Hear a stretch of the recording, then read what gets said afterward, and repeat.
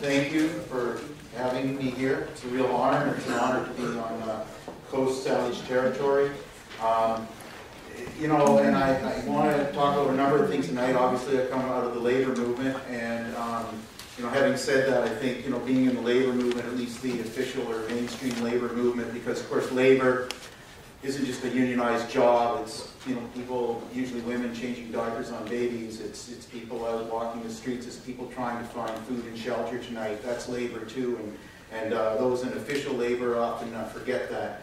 And I'm reminded of that often. And being in the labor movement too is also sort of like being in church. You know, you don't speak out of turn. There's things that you can say and things you can't say. And I knew this wasn't a labor meeting tonight because I saw that I was the only white guy on stage, so I knew for sure.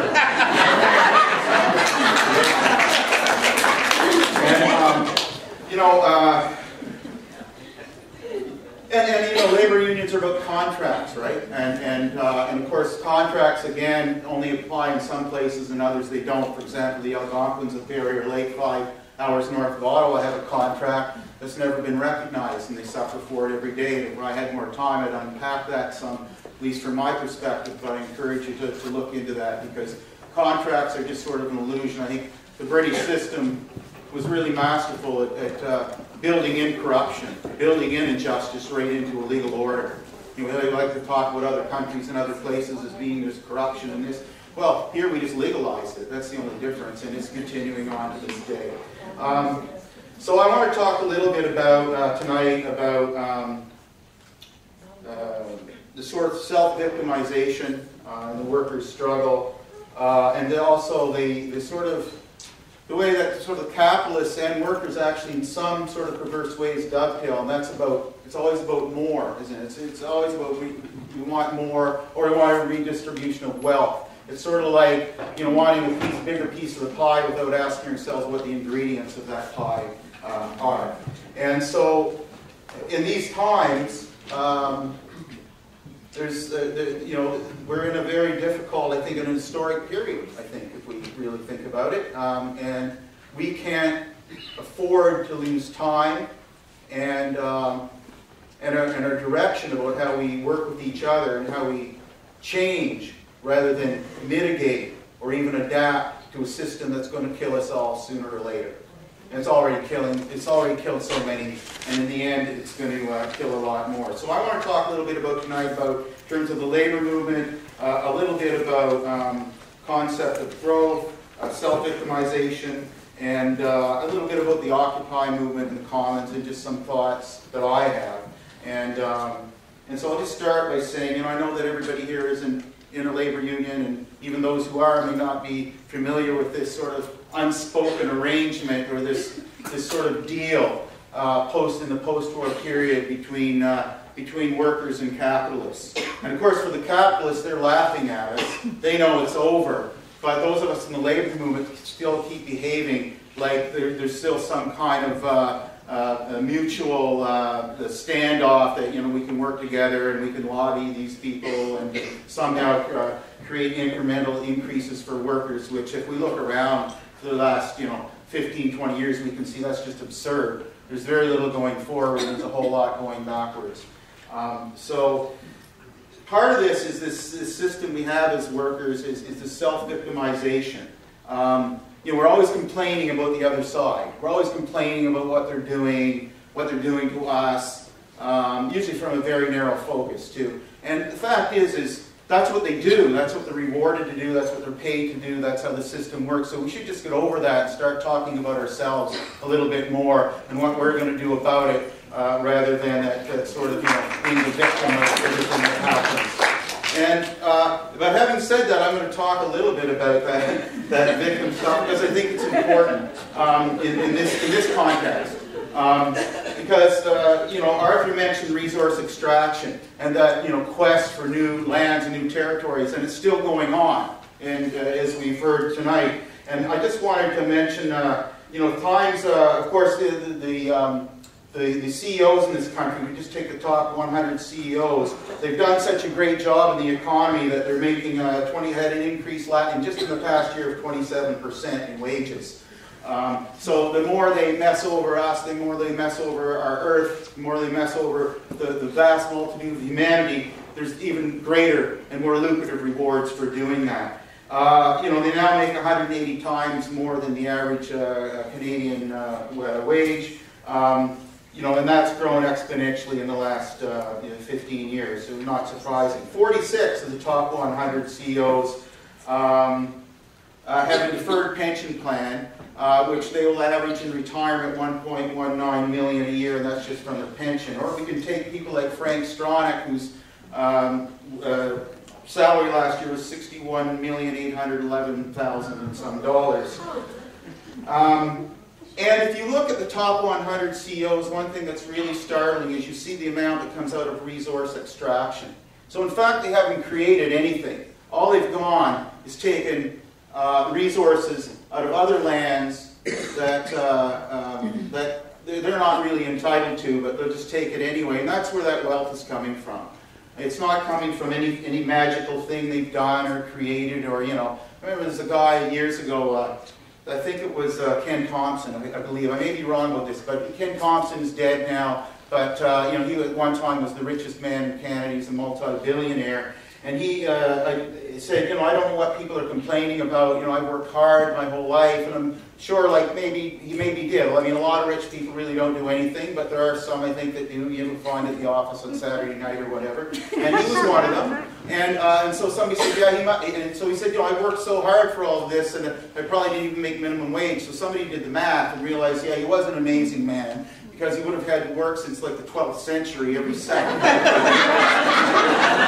so, so, you know, that, that, we enter into alliances with these people and think that we can lobby them. No, you know, they use us. They, they use all of us, and the, the labor movement's a good example of that. Now, we talk about, you know, this whole concept of having more and, and, all, and all of that, and and you know, there is talk about you know concepts like degrowth and zero growth, and uh, that we have to have a different relationship. Or you know, as the Cree say, to live life in a good way, or as Evo talks about in Bolivia, you know, to have a good life. But even then, you know, um, a lot of that, you know, Bolivia, a lot of this, there's a lot of mining going on. There's still a lot of resource extraction because when you live in a capitalized society, it's hard to go it alone because the bastards will crush you. They'll just find you and they'll crush you, and we see that again and again and again. So, you know, it's a pretty um, sort of perverse order that we're living under. But there's also lots going on. The global economy right now is incredibly explosive. It, there's no question about it. And there's breakdowns in the ruling class themselves. And my fear is, is that what we're going to see in the coming years, and, and not so far away, in fact we're already seeing it in some cases, we'll either have a, a, a swift move to fascism, or we'll have, you know, sort of left-wing, social democratic kind of governments who never question the system, right, think it all can be mitigated, who may get into power in some jurisdictions only to once again, you know, fail everyone, and we, you know, we all get pissed off at them because we didn't see the change that we had hoped to change. Because of course, we really know that those aren't the people in power. Real power doesn't exist in our legislatures or our parliaments, right? They're in those hidden places. That's where the real power exists. So um, the power structures uh, and also in our own unions have to be, have to be addressed because we're a reflection of those uh, power structures. So we're, going we're in a situation where we have to decide, and I know it maybe sounds a little radical now or a little, you know, we're a throwback to an earlier time, but we're really talking about revolutionary thinking and what that means, and, and you know, reclaiming that, uh, those spaces around us is revolutionary thinking, or we can go into more compromises, which is just going to prolong the inevitable and, uh, and lead us down the path that uh, I think that most of us here don't want to see uh, in the end. So, if we're going to do this, it's going to take more than just political action. It means taking stuff over. And it means relating to each other and doing that in a new way. And it means talking about that and putting that on the agenda. It's the only way that we're going to survive. And so if we're talking about um, political spaces or you know political parties or whatever, let's just throw that out the window. And I think that's of course the great thing about the Occupy movement, the Commons, and all this stuff. They're raising a new discourse. But what's Labor's relation to that? Labor's relation is, hey, those kids are doing a good thing. Of course, they weren't talking about it in the first place, you know, until it was in the news media. And then suddenly, this was an important issue for labor. So the contribution mainly of labor is, hey, we'll get you some tents or some yurts or some generators. and we really got to be talking about, it's not just the parks that need to be occupied. We got to get, first of all, we got, got to get rid of their occupation in our own minds. Yeah. And, and I think that's really key. And we can do that if we, have, if we put that into our discourse. But it's also about saying, you know, let's occupy their centers. Let's take their spaces. Let's take those industrial places. Let's take those places of transportation.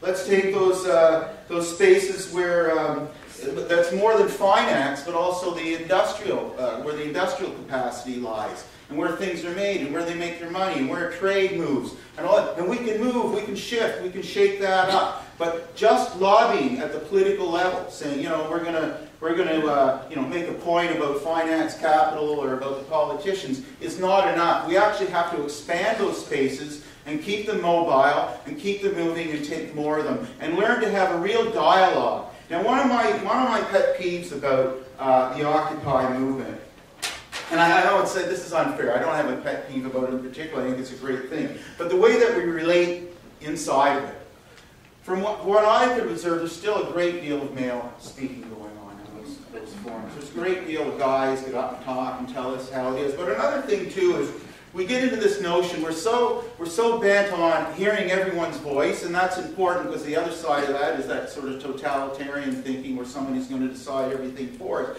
But the problem is, is we become so so hyper democratic that you know we're talking. It's almost like the equivalent of you know you know, I, I all the Smarties, but just take the brown ones out, right? And so, we, you know, we, and so we waste a lot of time uh, in, uh, in that kind of, um, you know, identity of I want this and I want that. And that's fine, but we also have to have those spaces of real discussion about how we stop being victims, about how we deepen the struggle, and how we actually take that which is around us and change it into something that will serve all of human beings and serve all the earth uh, for the better good and for future generations. As we've been taught by uh, our uh, Aboriginal um, leaders and, and, and, elders and so on that we see that on this land that we are settlers on. And I, I, I do have to say, too, as a, as a settler, descendant of a settler, you know, we really got to get past our rhetoric, right? Because labor unions are really great in having now somebody come in and do a smudge.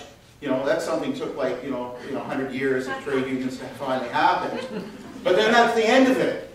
Right? Oh, that's great. We love you. Now go back home. No, we got to do better than that. We owe it to ourselves. We owe it to those who come after us to do a better job than that and to recognize this for what it really is. And so we can't just become silent participants by thinking, you know, we say good words, but we don't really do anything that changes anything. Now, this question of fascism, um, I'm not joking about it. You know, sometimes I mention I think that, that Canada is really a, a, a, fascist society, and it's becoming more so. And people get this kind of nervous laughter. Oh, isn't that that funny? But what are the hallmarks of a fascist society? Well, it's corporatism. Did you know the labor minister recently said that the economy should be declared an essential service? Yeah.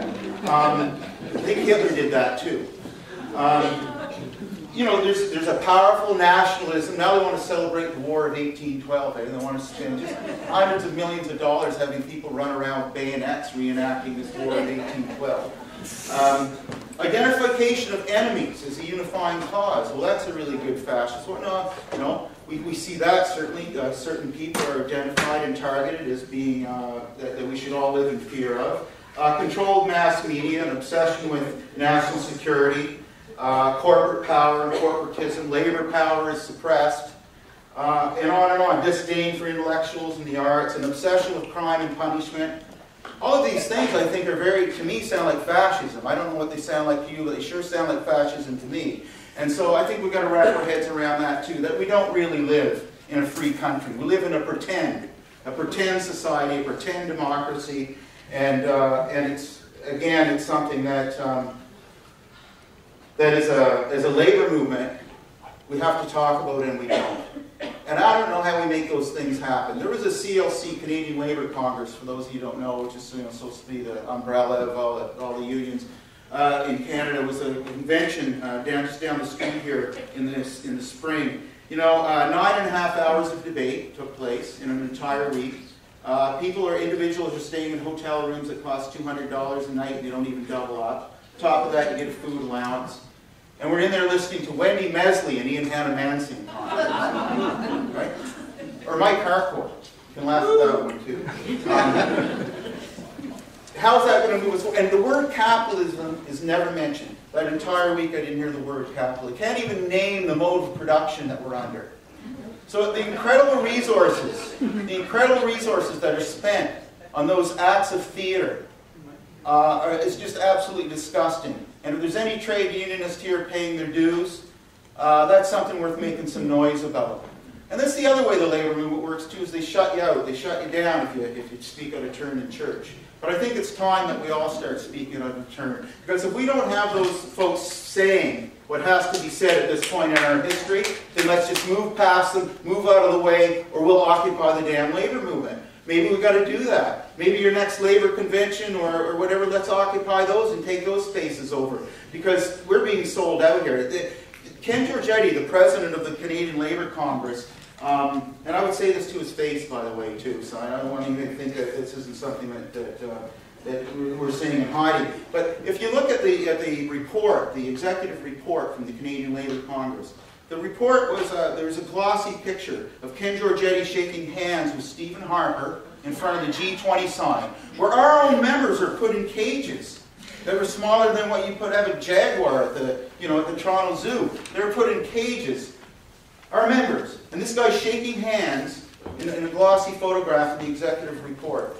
So it's not about Ken Georgetti, though, right? It's about a system of relations and behavior in this post-war period that labor has bought into and which we can't uh, blow, uh, we can't be a part of uh, anymore. So when we talk about occupying, let's again talk about more than just uh, a park.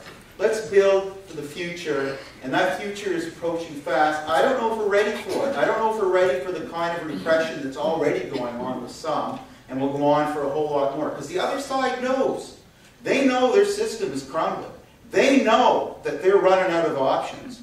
And they know that it's either a choice between fascism or us kicking their asses back to wherever the hell they came from. They know all that. And we're, so we're sort of just spinning our wheels in a way. Um, we got we got to find a way to have those more meaningful discussions to protect each other and to change this world. There's not a lot of time left. And so again, that means occupying the land, occupying the resources, taking over the ministries. Where are the energy sectors?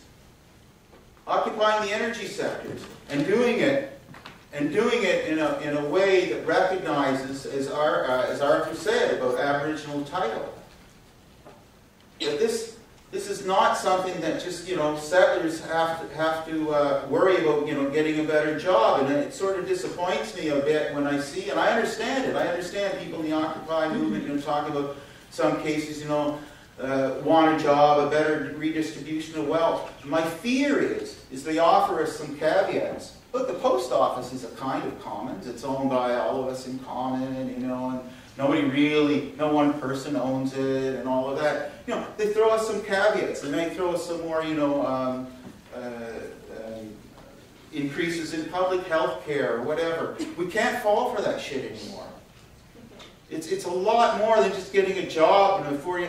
By the way, the, the, the whole notion of the 40-hour week really, you know, burns my ass because, you know, I remember I was one of those kids reading in the in the early uh, 60s. You know, yeah, I'm that old. Um, that was, uh, you're reading about, you know, popular mechanics and all these magazines about the coming computer age. Did you know that we were going to have robots doing our dishes? Did you know that you, you wouldn't have to work? You'd have these endless holidays, you only have to work like three hours a day because robots would be doing anything? Well, we should ask ourselves now, who's, do, who's working for who? Because I see people working for machines yeah. and not machines working the other way around. Well, those guys make 60, 70, 80 million dollars a year. Not to mention whatever they hide offshore through other, uh, through other means. So I wish I had more answers than questions. I wish, you know, we could say this is, this is the answer. But I think the answer is here in this room. I think the answer is out there. But we have to be able to ask ourselves those hard questions. How are we preparing for the struggle in the long term? And do our demands fit an, a long-term strategy, or are they sort of more instant gratification? Give us a little of this, give us a little of that. Our demands have to be much deeper, and they have to fit in to a long-term strategy in, in terms of, of actually winning, saving this planet, saving it for people that haven't even been born yet. It's a wonderful time to be alive. It's a drag that so much crap is happening around us. But it's also, we've been blessed, we've been given this period in, in time and history to make choices. And those choices are key, and the choices that we make over the next few years are going to be absolutely essential in whether we're going to turn this thing back in the long haul or whether we're just going to have outbursts of reaction uh, against the man. A friend of mine, before I came here, um, gave me this, um, this little bag she got uh, somewhere, and I, I think I'll just end with that and say, uh, it says, uh, keep the faith, keep the ideals, and face the facts. Uh, thanks for having me.